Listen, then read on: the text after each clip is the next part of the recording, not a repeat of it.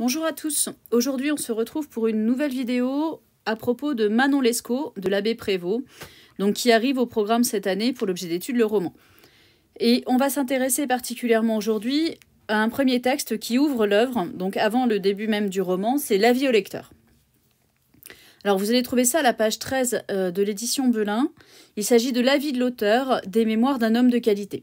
Donc il s'agit d'un texte euh, posé là par Renoncourt, le narrateur des euh, Mémoires d'un homme de qualité, et qui explique pourquoi il va euh, présenter l'histoire du Chevalier des Grieux et de Manon Lescaut dans une sorte de tome à part. Donc il justifie cela auprès du lecteur. Quoique j'eusse pu faire entrer dans mes mémoires les aventures du Chevalier des Grieux, il m'a semblé qu'il n'y que, n'y ayant point un rapport nécessaire, le lecteur trouverait plus de satisfaction à les voir séparément. Un récit de cette longueur aurait interrompu trop longtemps le fil de ma propre histoire.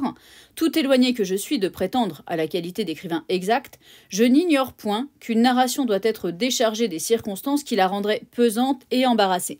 Donc première justification, euh, le tome est détaché du reste de l'œuvre par euh, volonté de plaire au lecteur et de susciter davantage de plaisir pour éviter d'embarrasser la narration principale. Donc il, réfère, il renvoie au poète latin Horace avec ce précepte, il faut commencer par dire ce qui doit d'abord être dit et retarder les détails et les négliger pour le moment.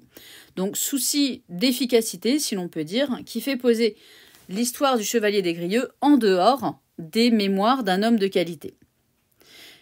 Il se justifie encore par rapport au plaisir du lecteur. Si le public a trouvé quelque chose d'agréable et d'intéressant dans l'histoire de ma vie, j'ose lui promettre qu'il ne sera pas moins satisfait de cette addition. Donc on insiste encore sur une promesse de satisfaction. Il verra dans la conduite de M. Desgrieux un exemple terrible de la force des passions. Alors, cette citation, il faut absolument la retenir, un exemple terrible de la force des passions, parce que vous pourrez la caser très facilement dans une dissertation. Et ça va aussi nous être euh, utile pour toute la volonté euh, morale ou didactique de l'œuvre. Vient ensuite ce que j'ai surligné en bleu, à savoir la vision de Desgrieux par le narrateur, qui euh, nous présente, le narrateur nous présente une sorte de petit portrait du héros qu'il va dépeindre ensuite.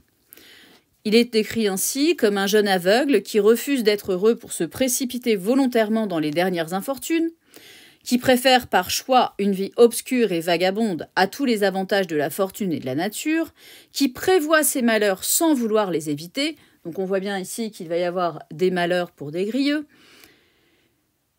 qui est accablé sans profiter des remèdes qu'on lui offre sans cesse, donc toujours cette, euh, cette variation entre bonheur et malheur, entre volonté de se sauver et volonté de rester dans son état, un caractère ambigu et élément à retenir parce qu'il va aussi être euh, important pour deux personnages, un mélange de vertu et de vice, un contraste perpétuel de bons sentiments et d'actions mauvaises. Donc ça, vous pouvez retenir cette citation-là ce que je vous mets entre, euh, entre accolades, parce que ça peut être utile pour deux personnages.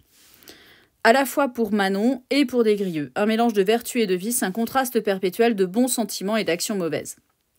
Donc voici le portrait qu'on nous trace du chevalier Desgrieux.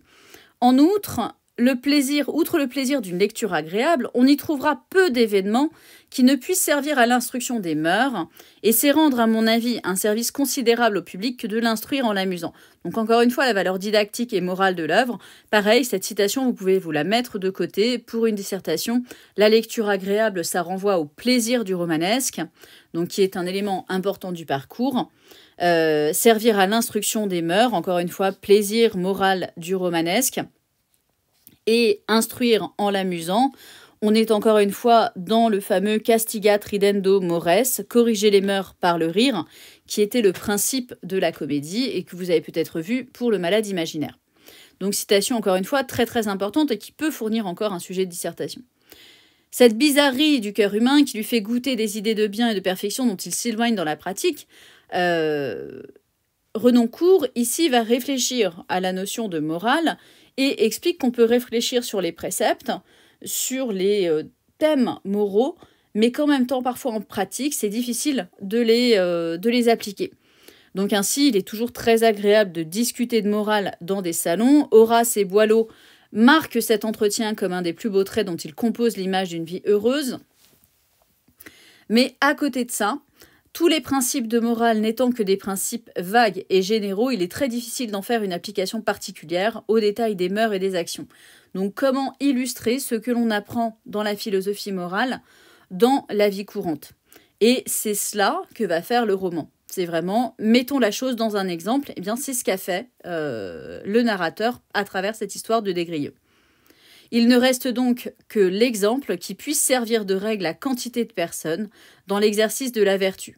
C'est précisément pour cette sorte de lecteur que des ouvrages tels que celui-ci peuvent être d'une extrême utilité. Donc pour ces personnages qui ont du mal à voir les applications concrètes de la morale, voilà ce à quoi va servir l'œuvre.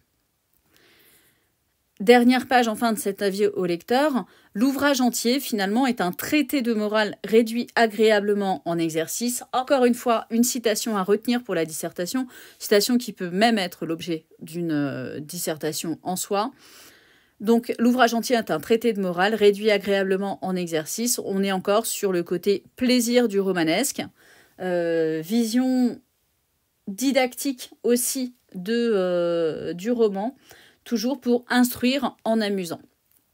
Un lecteur sévère s'offensera peut-être de me voir reprendre la plume à mon âge pour écrire des aventures de fortune et d'amour, mais si la réflexion que je viens de faire est solide, elle me justifie. Si elle est fausse, mon erreur sera mon excuse. Globalement, il prêche la bonne foi.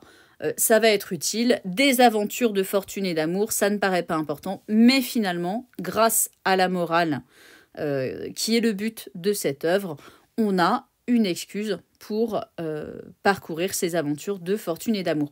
Donc un texte très très important pour comprendre l'œuvre et pour traiter par la suite les dissertations du bac sur euh, personnages en marge, plaisir du romanesque.